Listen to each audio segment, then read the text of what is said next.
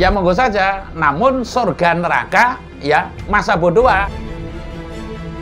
Namun yang perlu kita ingat ya jangkaning dewa ramaling pendito kodrating jagat mbok menawa wis tatkala mangsa saya merujuk kepada warga negara Indonesia nerimo ing pandum saja niscaya revolusi alam akan terjadi.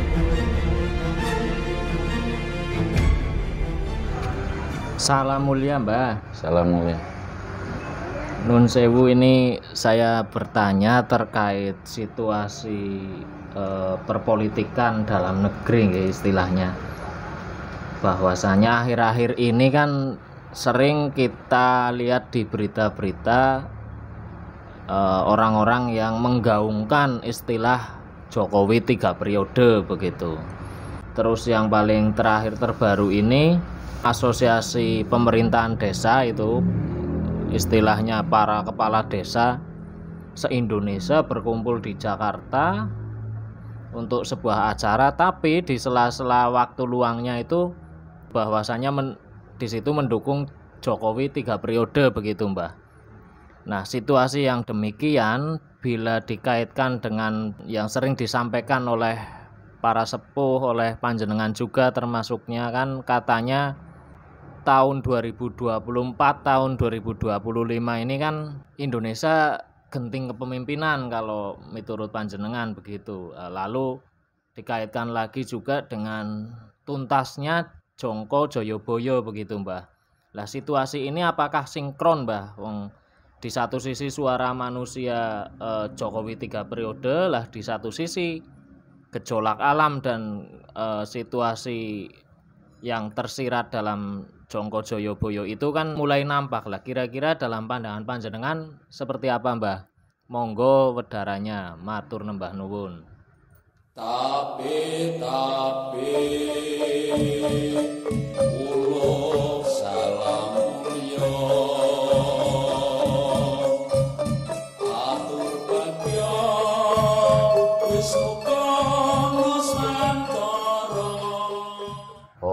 Wilahing jati nugone ajat-ajate leluhur Nusantara tabe-tabe uluk salam mulia. Ya semoga tidak terjadi apa-apa dalam negeri tercinta Indonesia ini, Nusantara ini. Hanya kalau kalau kita menyimak adanya presiden dua periode itu kan amanat reformasi ya. Amanat reformasi yang semestinya presiden dua periode. Lah kalau kita menengok lagi ke zaman yang lampau, masa lampau, Indonesia masa lampau, Bung Karno itu juga diperpanjang, bahkan akan ada eh, seumur hidup itu kan slogannya seperti itu. Ya. Nah, lalu kalau dikaitkan lagi dengan keimanan, keimanan salah satu orang atau beberapa orang yang bahwasanya suara rakyat, suara Tuhan, kan seperti itu. Namun suara rakyat yang mana begitu? Ya kalau dikaitkan dengan seribu eh, berapa? 81 ribu apa ya kepala desa se-Indonesia itu kurang lebihnya gitu. 81 itu kan berarti 81 ribu orang ya. Jumlah penduduk Indonesia berapa? 270-an sekarang kurang lebih. Lah ini apakah ia telah mewakili seperti itu? Lah jadi saya menyimak sejenak taruhlah ini adalah sistem atau sebuah cara tertentu. Kalau saya mengatakan nanti eh, ibaratnya money politik apa ya atau yang lain gitulah taruhlah nanti saya berlebihan ya. Namun ini kan sebuah siasat sebuah siasat atau percaturan politik sebab dalam pandangan saya dalam pandangan saya eh, alangkah eloknya, alangkah lucunya. Yang berpotensi jadi presiden Indonesia kan banyak banget. Yang niat tulus, ya. Taruhlah kayak artis Zelensky saja itu apa? Ukraina itu nyatanya bermental baja gitu loh. Lah, lalu penghalangnya apa nih? Penghalangnya kan kapal atau partai politik. Lah, saya menilai untuk sementara ini partai politik bingung mencari jago, ya bingung mencari jago sehingga sehingga uh, ada uh, keputusan mungkin musyawarah para petinggi-petinggi partai ini alangkah baiknya ini disambung lagi masalah undang-undang itu kan bisa dibuat ya kan eh, budgeting, legislating, ya terus pengawasan gitu dan sebagainya ini adalah tugas DPR. Lah kita kan nggak tahu nih.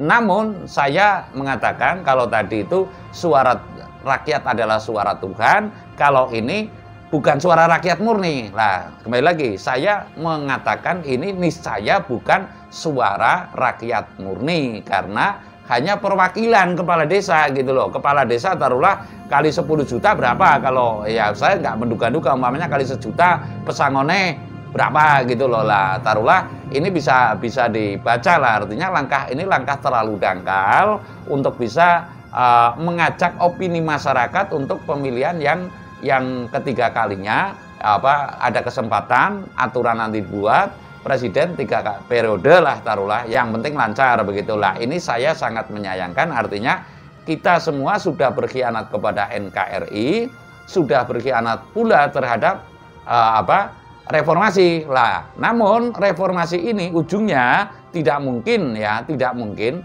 Reformasi ini kan kata halus daripada revolusi. Aslinya seperti itu. Lah, revolusi masyarakat Indonesia yang perlu kita tahu bahwasanya ora seneng ibaratnya rame-rame, artinya tidak suka pemberontak, tidak suka memberontak ini sebenarnya sebagian kecil saja. Lah, namun yang perlu didengar oleh para wakil rakyat semestinya suara hati masyarakat ini yang bawah itu seperti apa, jangan hanya retorika saja, namun saya mengatakan sesuai jangka Jayabaya ya sekali lagi sesuai jangka Jayabaya ini memang wis dinas nang hakim bukan wis dinas sirotol mustaqim bukan wis dinas nang hakim. Kalau memang ini prosesinya mungkin adalah mesti demikian saya pernah mengatakan bahwasanya dimungkinkan tahun 2024 hingga 2026 ini Indonesia genting kepemimpinan lah salah satu margane atau jalannya kemungkinan adalah ini. Artinya saya mengatakan kepada seluruh warga masyarakat Indonesia, mungkin kita memantau saja obat musik yang jalmo tan bisa dedel marang garis yang pepesti.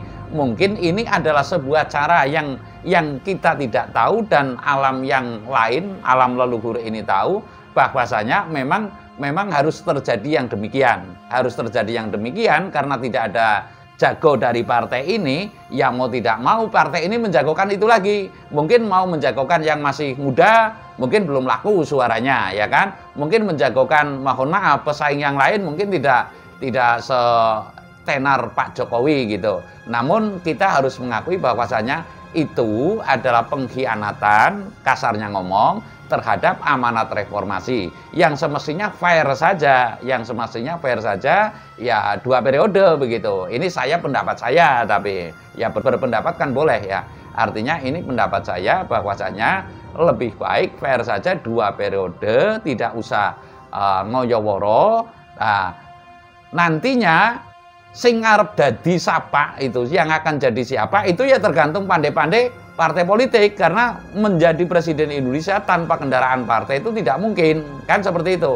Namun saya yakin alam akan berkehendak lain. Jadi saya mengajak kepada halayak warga Indonesia semuanya yang punya hak pilih biarkan saja sekarep-karpe. Saya yakin, saya yakin alam yang tidak kelihatan itu sedang mengatur ke arah reformasi atau yang dikatakan lebih kasarnya lagi revolusi alam yang sesungguhnya yang nanti kita tidak bisa mengetahui namun dia mengetahui sabar Darmo Narimo sebagai pedoman biarkan saja kaum politik yang demikian kita tetap melakoni ya teguh kukuh ceklan waton. Lah ini peribahasa teguh kukuh ceklan waton dalam arti memegang teguh amanat leluhur sabar Darmo Narimo yang nantinya niscaya kita akan bisa menjadi orang yang menang dan menangi. Buat apa menang apabila tidak menangi seperti itu. Oke, uh, nun sewu. Berarti dengan kata tandasnya istilahnya eh, silahkan saja kalau misal ada orang-orang yang menggaungkan tiga periode begitu mbak Ya monggo saja. Namun surga neraka ya masa bodoh artinya ini amanat reformasi begitu. nah tapi begini mbak kalau misal nih eh, panjenengan kan pernah menyampaikan itu ada videonya bahwasanya Pak Jokowi ini juga didukung oleh leluhur lah ini proporsional dalam posisi antara tuntasnya jangka baya atau melanjutkan Pak Jokowi tiga periode ini bagaimana ini mbak Begini mas, saya mengatakan 144 nih saya luhur akan menitis. Namun saya mengatakan Pak Jokowi 6 ruang Pak Jokowi ya.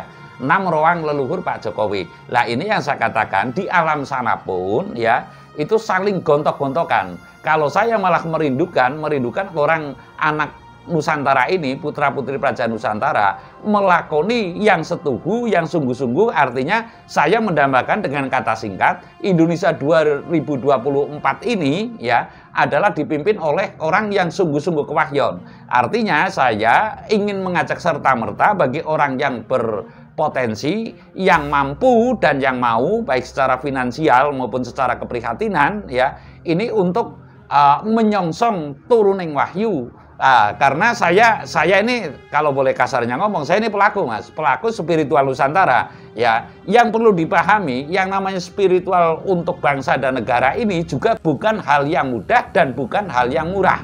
Ini saya katakan sekali lagi, spiritual untuk kepentingan kewahyon Nusantara menjadi sarana mercusuar dunia, kan harus ada kekuatan wahyu. Ini bukan yang murah dan bukan yang gampang gitu. Artinya kita mesti melakoni dengan sungguh-sungguh sesuai dengan kapasitasnya. Mungkin enggak taruhlah. Spiritual Nusantara hanya dilakoni oleh seseorang saja. Lalu mungkin enggak bicara spiritual Nusantara paling modalnya kelasnya gede deh 10 20 juta gitu loh. Tidak mungkin. Lah ini yang perlu diketahui oleh para pembesar yang betul-betul menggadang-gadang kepengen Indonesia maju.